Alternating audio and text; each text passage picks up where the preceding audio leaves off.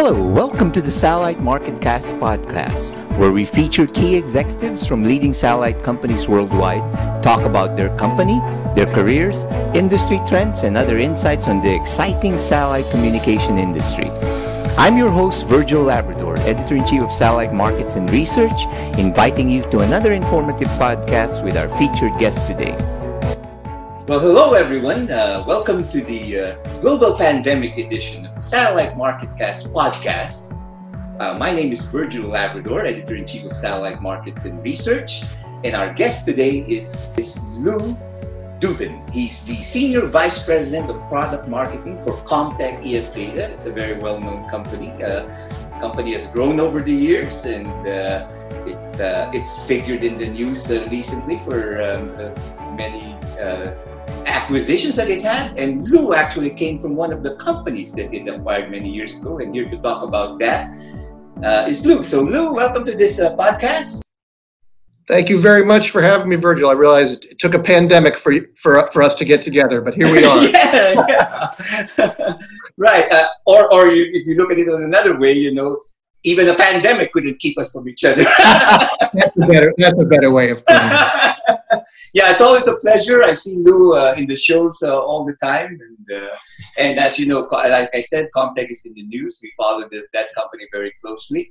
So Lou, uh, like I said, Comtech has been in the news. You, you've had some major acquisitions. Some are still pending, uh, but but some of them just like UHP, etc.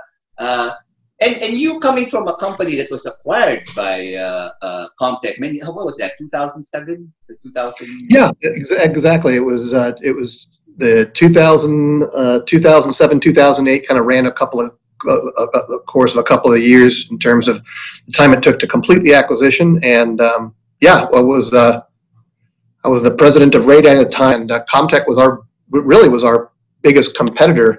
Um, but they wanted, they, they wanted a lot of the engineering and, and um, technology, um, customers, uh, and you know, ex- and expand into the satellite community, become a bigger part of the satellite community, which is which is really kind of still in line with with the current situation and, and why we've shown so much interest in the acquisitions that Comtech is going down the road with. So. Mm-hmm. Um, we recently completed an acquisition of a company called CGC, Mm-hmm. Um, they're a manufacturer of XY antennas. Mm-hmm. Um, we had an antenna company really a very long time ago, and you know we see a lot of movement in the satellite LEO and, and, and MEO community, and these XY antennas are, are really important. So, mm-hmm. um, Comtech Telecommunications, the parent company, um, saw real value in that, um, as they see value in continuing to grow the uh, digital segment of our business. So, um, you know, a major investment in in in UHP, the Universal uh, uh, Hardware Platform, yeah, um, and uh, their their sister company eStar and uh, and Gilat. Um, so, I think it shows that Comtech Telecommunications is is is really all in in satellite, and it's really exciting to be right. part of an organization that's investing in a satellite. So, as senior vice president for product management, do you manage all the products, all the different product lines? So I manage all of the digital products mm-hmm. for the Comtech EF Data division. So right. there's there's quite a few products, and, and I know about two percent of all of them. right, right. Well, yeah, it's a pretty extensive portfolio of products you've got, right? Yeah. Talk yeah. yeah. Sh- showcase uh, the the products that you're you're really pushing in the market right now. So um, we have. Uh, quite a few different digital products um, and RF products. Um, the digital products that are really showing a lot of success um, are are are high speed and high throughput point to point or point to multi point products, um, such as the CDM 760 or the the government centric CDM 5650. A lot of interest in our VSAT system, uh, our Heights platform, mm-hmm. um, and a lot of interest really in a, a, mix of these types of technologies and a lot of networks where we now have the ability to, to kind of give you the right tool for the right job. Mm-hmm. Um, and so a lot of these jobs that come out, they're really they're really not very vanilla. That's not an even spread of what they want. They need different solutions for different parts of the network, and, and we're lucky enough to have a lot of those tools. Mm-hmm. And uh, what applications uh, do you see the most promise for your products right now? So we're still very much, very much entrenched in uh, two major markets. Um, uh, our, our, two biggest markets are are definitely uh, government and defense, um, both for the U.S. and international, mm-hmm. uh, as well as uh, mobility operators or, or, or cellular providers. Mm-hmm. Um, those two markets uh, really define, for the most part, um, who we are, what technologies we want to invest in. Um, now, I wouldn't call it a market necessarily, but uh, you know, a, a, growing factor in all of this is is the satellite operators themselves right. and how you know the how the market is changing from the perspective of um, frequency reuse and uh, ability or inability to go through standardized gateways or localized gateways. Um, not not only government or cell backhaul or uh, mobile network operators, but the satellite operators themselves uh, are really driving a lot of change in the technology just because of the way the geo satellites function. Even the geo satellites are functioning differently, have different kinds of transponders, different frequencies, different throughput capabilities. Uh, certainly, the MEO operators and and uh, and uh, the MEO constellations um, now not only owned by necessarily one company, right? There's there's others that are applying for MEO for MEO constellations, and and the LEO providers. So they're changing. They're changing the environment enough where we can't just be customer centric. We also have to mm-hmm. be operator centric, right? Right. So you see an opportunity in the new LEOs and the MEOs uh, constellations that are coming up. Yeah, you know, um, we do. We we do see opportunities. We're involved with a lot of these um, organizations and, and, and, and operators and you know some are more open than others. Some are are are what, what we call closed network or kind of wanting to um, you know they want to be the sole provider from top to bottom of the food chain kind of like an apple right? Right. Then you have the android players the the guys who who are willing to hire or or work through service providers and and they want equipment from various manufacturers so that they can offer maybe a, a wider array of solutions albeit not as tied together. Right, right.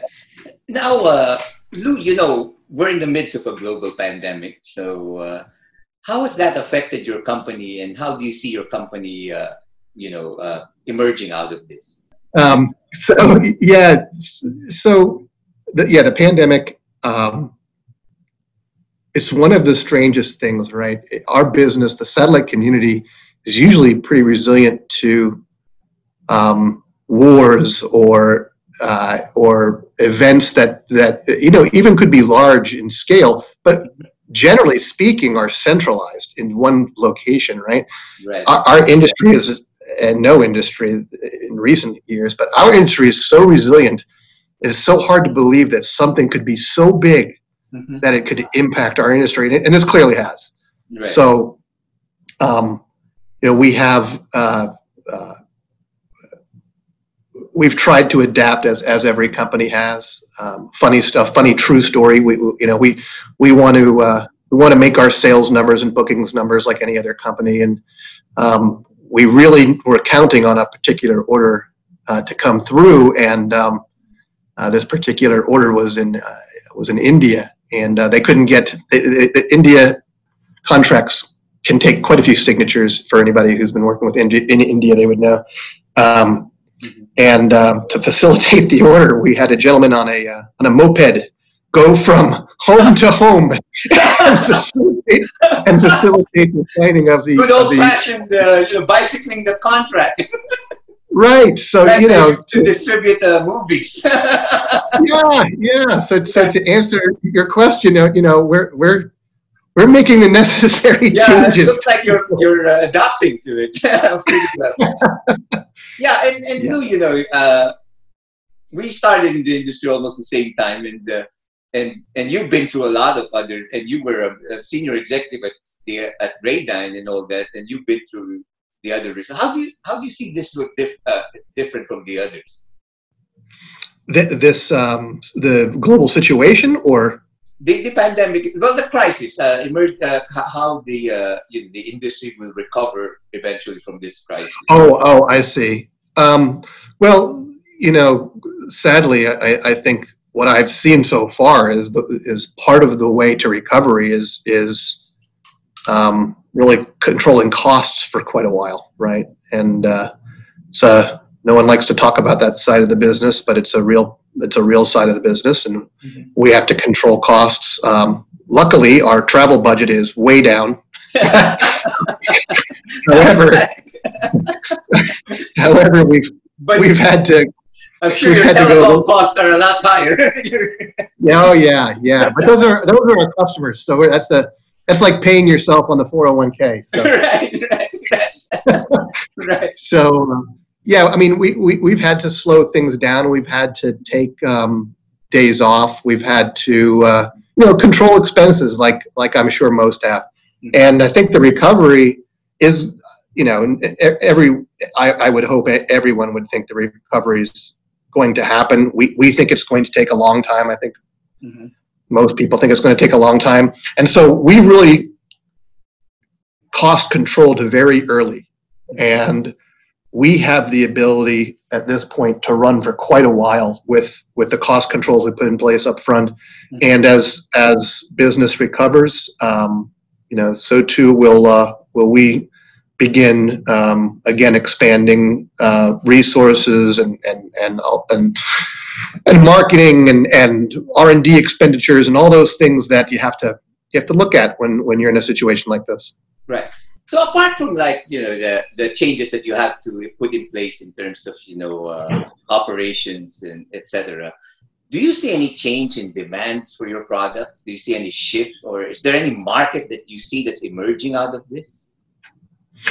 Well, so certainly there there has so you, you you you hit upon a really good point, and and, and th- there is a huge demand for products now, um, and you know the demand for the government business really is is almost um, unchanged, uh, at least in our view, um, and the demand for commercial products is is huge. You know, these MNO operators, their their networks are completely overloaded. And so you ha- there's this weird balance of the MNO operators have this enormous demand. They they really want new products, new services, extended products, mm-hmm. um, and then it, you get to the point where but someone has to install it, someone has to commission it, someone has to physically be involved, and there's a little bit of uh, back and forth on that, right? So you have all this demand but there's only so fast you can go with the fact that people still have to be involved in real life business. It's we, you know, you can sell stuff on paper all day long. At the end of the day, right, a bunch of people have to get involved to make it work. Right, right. So how how, how do you see uh, your company now moving forward? You know, just just just what can we expect from Comtech? You know, so I, th- I, think you know we're, as you mentioned earlier we're in the midst of um, a, a, very different world however we're still firmly committed to growing the business in the satcom industry mm-hmm. um, these we have two very exciting uh, mergers that are in the works right now with with UHP and Gilat, mm-hmm. and um, we really can't wait to close on these deals and start kind of integrating these systems and taking best of breed and, and ha- expanding our portfolio. Uh, UHP has um, a, a, really a wonderful product that addresses a portion of the market that, that Comtech has historically almost intentionally not tried to target, which is mm-hmm. um, you know the lower cost VSATs, the SCADA networks, SCADA platforms, um, highly oversubscribed networks. We've always tried to stay historically where our strength was, which was high speed, high capacity, high throughput, uh, high reliability. Um, and uh, UHP really opens up a, a, whole new market for us, as does, does you know Galat. Gilat has a lot of business in the in the um, flight entertainment um, world. Um, our sister division, Xicom, does a lot of work in the flight entertainment world. But in terms of digital products, um, you know, uh, we have not focused on flight historically, and and and and Gilat has a really good portfolio of, of flight of flight rated and flight certified products.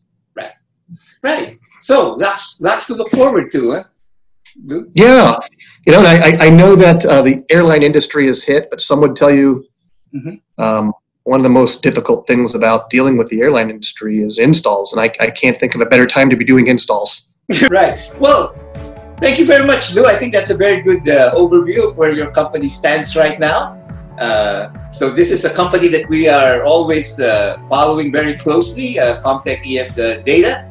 Uh, so all your listeners out there, thank you for listening to this uh, podcast. And uh, for all the news and information in the global satellite industry, you always have satellite markets and research at www.satellitemarket.com. And this podcast is also available on our YouTube channel, which is Satellite Markets. Thank you.